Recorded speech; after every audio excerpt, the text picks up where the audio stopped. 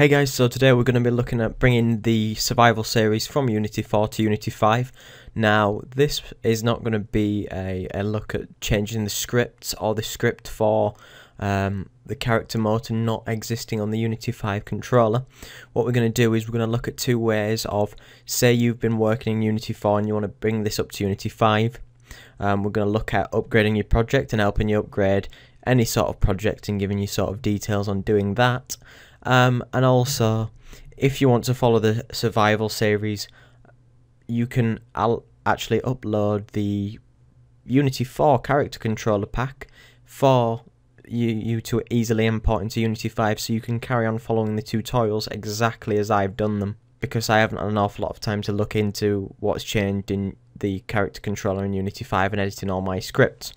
So what we're going to do is once you open Unity 5 for the first time, you're going to want to open other.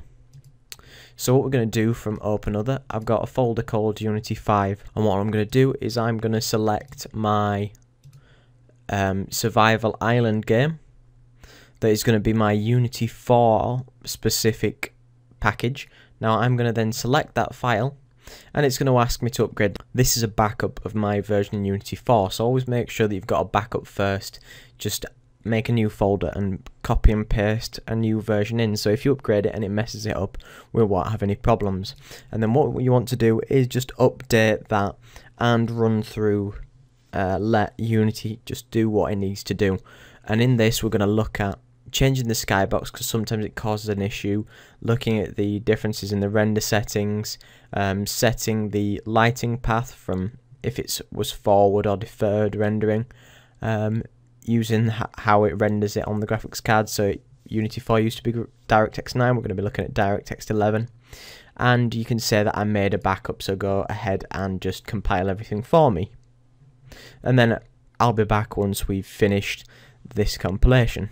Okay, so now uh, we've opened this up in Unity 5 and it looks, let's say, somewhat similar to how it functioned before. Now there's going to be some things that have messed up and it might look a bit a little bit crazy. So if I play the game now, you'll notice that we don't particularly have any errors, but we're going to have some sort of visual bugs going on that we need to sort of address um, through this video. So, people had been mentioning that um, the there's some errors with the character controller and the scripts that are with that.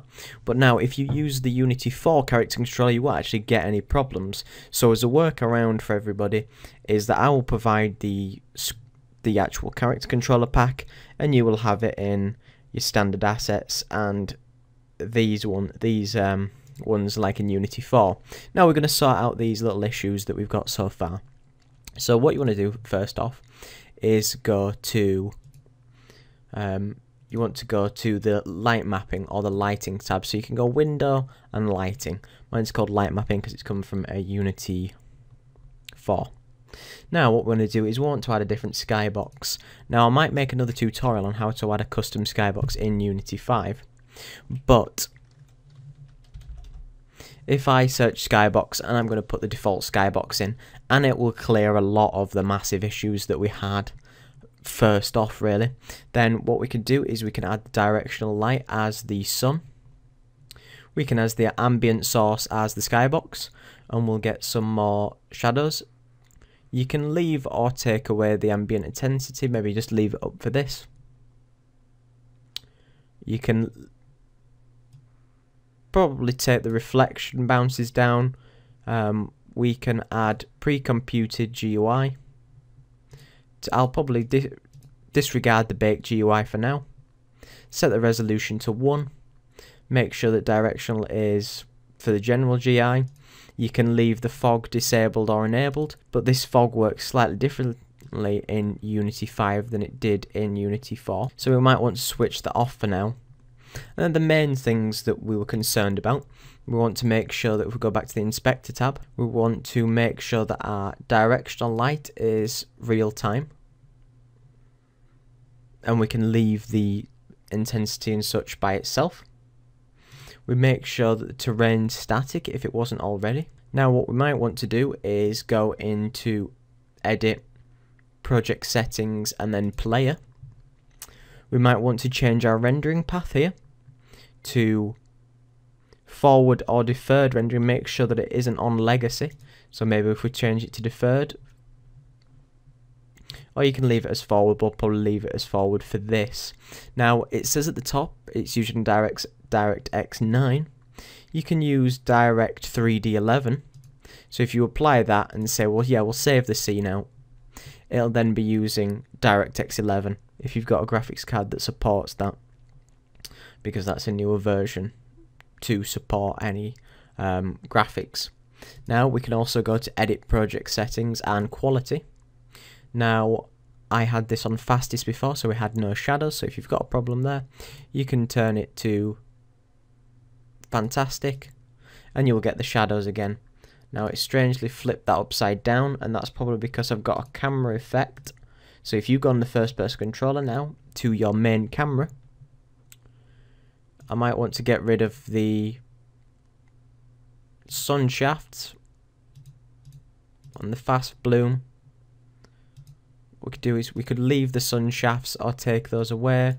Fast bloom makes it switch upside down. I'm not really sure why that's doing that, but that's okay for now. But if we want to have a look at playing the game, um, it'll sort out quite a few issues that we previously had, and it looks it looks fairly nice. And also you might want to use continuous baking. Make sure that on your lighting tab continuous baking is enabled. Um, some of these objects we don't we make sure that we don't want to be static because they're going to move. Now I've got a little issue with some of my palm trees.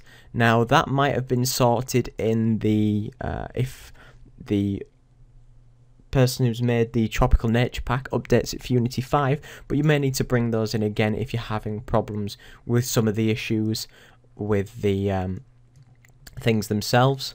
Now, now with continuous baking on, it's brightened everything up slightly, and now we get some nice, uh, not so darker shadows in the areas, so we can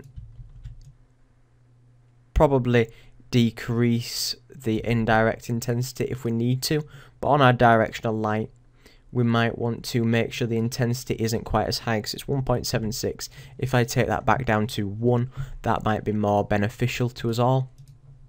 Now you can enable fog again, but you might want to experiment with what actually works because maybe I'm using the fog incorrectly and if anybody knows how to use it properly I might look into it more detail but um, it seems to be doing it in a different way to how I'd normally expect because I'd want the fog to be back here rather than very close to you know our player.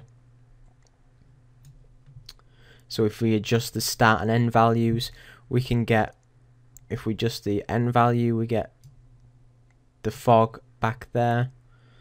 I can't seem to make it affect anything down there. Maybe it's an issue with me but something might you might want to test for yourself but if we leave that off for now and we test the game, um, we'll get everything, you know, from how we wanted it in Unity 5.